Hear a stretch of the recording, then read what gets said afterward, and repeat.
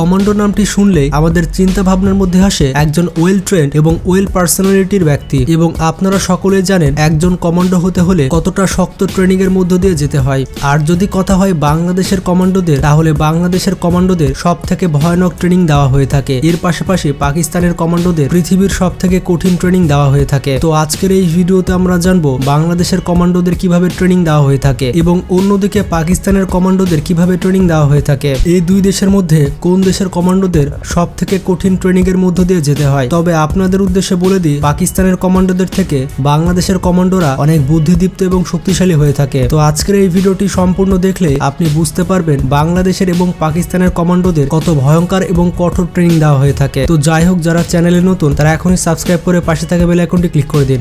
ঠিক আছে। বন্ধুরা, জাতিসংঘের রেকর্ড ঘাটলে আমরা দেখতে পাই পাকিস্তান এবং ভারতের সৈনিকদের থেকে বাংলাদেশের সৈনিকরা অনেক এগিয়ে রয়েছে। বাংলাদেশের সৈনিকরা সব থেকে বেশি শান্তি রক্ষা মিশনে অংশগ্রহণ করেছে। তো যাই হোক, সবার প্রথমে দেখে আসি বাংলাদেশের কমান্ডোদের কীভাবে ট্রেনিং দেওয়া হয়ে থাকে। বন্ধুরা, বাংলাদেশের আর্মিদের গ্যাগিং ট্রেনিং দেওয়া হয়ে থাকে। আসলে এই ট্রেনিংটি অনেক ভয়ঙ্কর হয়ে থাকে। বাংলাদেশের আর্মিদের যত ট্রেনিং রয়েছে, তার মধ্যে সব থেকে কঠিন ট্রেনিং হচ্ছে এই গ্যাগিং ট্রেনিং। আর এই ট্রেনিং এ এত কষ্ট দেওয়া হয়, তার কারণ হচ্ছে যদি কখনো শত্রুর হাতে ধরা পড়ে যায়, তাহলে শত্রুরা হাজার কষ্ট দেওয়ার পরেও যাতে ওই কমান্ডো তার মুখ দিয়ে তার নাম, তার ইউনিটের নাম এবং মিশনের উদ্দেশ্য না বলে। মানে শত্রুর হাতে ধরা পড়লে কোনো অবস্থাতে যেন নিজের পরিচয় না দেয়। তার কারণে এত কষ্ট দেওয়া হয়ে থাকে। গ্যাগিং ট্রেনিং এ আপনারা দেখতে পাচ্ছেন কীভাবে একজন আর্মিকে গোটা শরীর বেঁধে টানা হচ্ছে। তবে অনেক সময় এই ধরনের ট্রেনিং এর ভিডিও সোশ্যাল মিডিয়াতে অনেকজন আপলোড দিয়ে থাকে এবং বলে যে বাংলাদেশ আর্মিরা কীভাবে অত্যাচার করছে। আসলে বন্ধুরা, এটি অপপ্রচার চালানো হয়। এগুলো দেখার কারণে যারা সেনাবাহিনীতে যোগদান দিতে ইচ্ছুক, তারা নিরাশ হয়ে যায়। বন্ধুরা, এরকম কার্যক্রম কোনো জাতির জন্যই কল্যাণ বয়ে আনবে না। এরপর বাংলাদেশের আর্মিদের প্যারা কমান্ডো ট্রেনিং দেওয়া হয়ে থাকে। এই প্যারা কমান্ডো ট্রেনিং সব থেকে উন্নত মানের একটি ট্রেনিং হয়ে থাকে। বাংলাদেশ সেনাবাহিনীর আরেকটি কঠোর ট্রেনিং এর নাম হচ্ছে প্যারা কমান্ডো ট্রেনিং। বুকে সাহস এবং গায়ে জোর না থাকলে এই প্যারা কমান্ডো ট্রেনিং কখনোই করা সম্ভব নয়। সন্ত্রাসী হামলা মোকাবেলায় প্লেন হাইজ্যাক এবং দেশের গুরুত্বপূর্ণ ব্যক্তিদের নিরাপত্তার জন্য এই প্যারা কমান্ডো ইউনিট নিয়োজিত থাকে। এই প্যারা কমান্ডো ট্রেনিং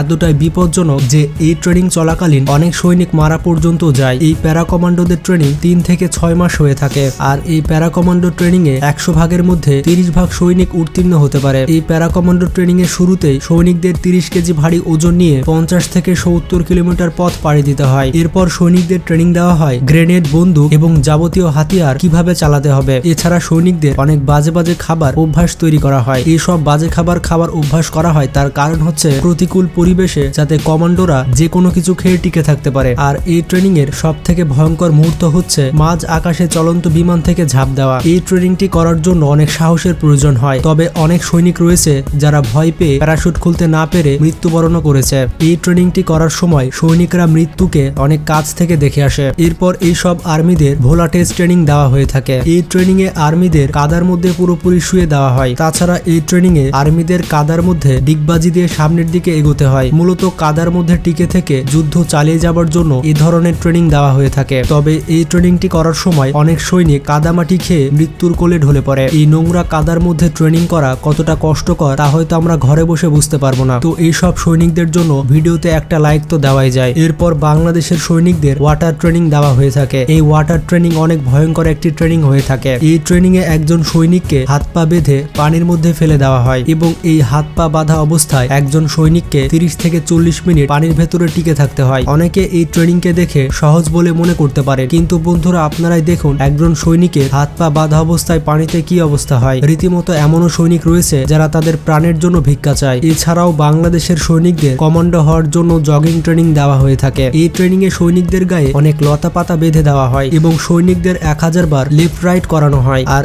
এতবার লেফট রাইট করার কারণে সৈনিকদের পুরো গা ব্যথা হয়ে যায় এবং এই ট্রেনিং এর কারণে সৈনিকদের শরীরের বিভিন্ন জায়গায় লতা পাতা ঢুকে যায়। এছাড়াও বাংলাদেশের সৈনিকদের একজন কমান্ডো হওয়ার জন্য অনেক ভয়ঙ্কর ভয়ঙ্কর ট্রেনিং দেওয়া হয়ে থাকে। তো চলুন এবার অন্যদিকে দেখে আসি পাকিস্তানি কমান্ডোদের কেমন ট্রেনিং দেওয়া হয়ে থাকে। বন্ধুরা, পাকিস্তানি আর্মিদের মেন্টালি এবং ফিজিক্যালি অনেক শক্তভাবে ট্রেনিং দেওয়া হয়ে থাকে। পাকিস্তানের কমান্ডোদের এক পর্যায়ে কোবরার রক্ত খাওয়ানো হয়। বন্ধুরা, তাদের কোবরার রক্ত খাওয়ানো হয়, তার কারণ হচ্ছে তারা মনে করে এই কোবরা সাপের রক্ততে অনেক নিউট্রোলিন থাকে। যাতে করে বিভিন্ন প্রতিকূল পরিবেশে পাকিস্তানি কমান্ডোরা টিকে থাকতে পারে। এই কোবরার রক্ত ছাড়াও বিভিন্ন বিচ্ছু এবং পোকামাকড় খেতে হয় পাকিস্তানি কমান্ডোদের। বন্ধুরা, আপনারা বুঝতে পারছেন এই বিচ্ছু এবং পোকামাকড় খাওয়া কতটা সাহসের ব্যাপার। এর পাশাপাশি পাকিস্তানি আর্মিদের ওয়াটার ট্রেনিংও দেওয়া হয়ে থাকে। তবে তাদের ওয়াটার ট্রেনিং একটু আলাদা হয়ে থাকে। তাদের হাত পা বেঁধে পানির মধ্যে ফেলে দেওয়া হয়। এরপর তাদের একটি কাজ দেওয়া হয় যে পানির নিচে কোনো একটি বস্তু থাকবে আর সেই সৈনিককে ওই বস্তুটি মুখ দিয়ে তুলে আনতে হবে। বন্ধুরা, হাত পা বাঁধা অবস্থায় তারা এই বস্তুকে পানির নিচ থেকে তুলে আনতে সক্ষম হয়। তবে কিছু কিছু সৈনিক রয়েছে যারা এই ট্রেনিং অবস্থায় মারা যায়। এই ট্রেনিংটি করার সময় যদি আপনার হাত পায়ের বাঁধন খুলে যায়, তাহলে আবার আপনাকে এই ট্রেনিংটি করতে হবে।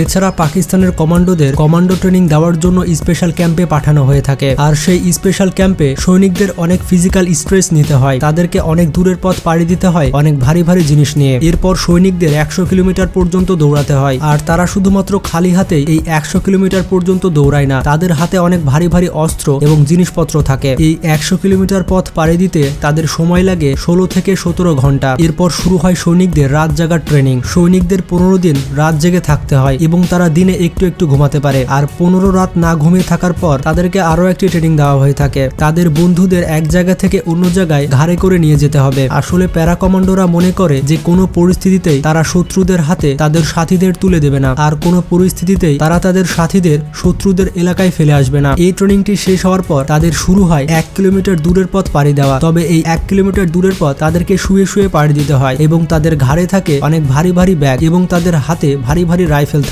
এই ট্রেনিংটি শেষ হলে কমান্ডোদের বড় বড় ট্রাকের চাকা এবং গাছের গুড়ি দেওয়া হয়। এগুলো তাদের একটি নির্দিষ্ট জায়গা পর্যন্ত নিয়ে যেতে হবে। বন্ধুরা, এইসব ট্রেনিং চলাকালীন পাকিস্তানি কমান্ডোদের কোনো খাবার দেওয়া হয় না, যার কারণে তারা অনেক দুর্বল হয়ে পড়ে। আর এই ট্রেনিংটি শেষ হওয়ার পর তাদের গ্লাসে করে এক ধরনের লিকুইড খেতে দেওয়া হয় এবং এই লিকুইডগুলো দেখে মনে হয় এগুলো যেন ড্রেনের পানি। আসলে এটি একটি স্পেশাল তরল পানি, যেটি খাওয়ার পর সৈনিকরা আবার শক্তি ফিরে পায়। তবে সৈনিকদের বলা হয় না যে এটি স্পেশাল তরল পানি। সৈনিকদের বলা হয় যে এটি ড্রেনের পানি। এখানে তাদের ফিজিক্যাল ট্রেনিং শেষ হয়। এরপর তাদেরকে পাঠানো হয় মেন্টাল ট্রেনিং এ এরপর এই কমান্ডোদের একটি রুমে বসিয়ে চারিদিক থেকে তাদের গায়ে লাইট মারা হয়। লাইট মারার পাশাপাশি তাদের আশেপাশে চিৎকার করা হয় এবং এত কিছুর মাঝখানে তাদেরকে অনেক প্রশ্ন দেওয়া হয়। তাদের কাজ হচ্ছে এই প্রশ্নগুলোর উত্তর খাতায় লেখা। এরপর তাদের মেডিকেল চেক হয়ে থাকে। মেডিকেল চেক পর যারা যারা টিকে যায়, তাদেরকে পাকিস্তানি কমান্ডো হিসেবে তৈরি করা হয়। বন্ধুরা, দেখতে পেলেন পাকিস্তানি কমান্ডোদের কীভাবে ট্রেনিং দেওয়া হয়ে থাকে। পাকিস্তানি কমান্ডোদের যেভাবে ট্রেনিং দেওয়া হয়ে থাকে, ঠিক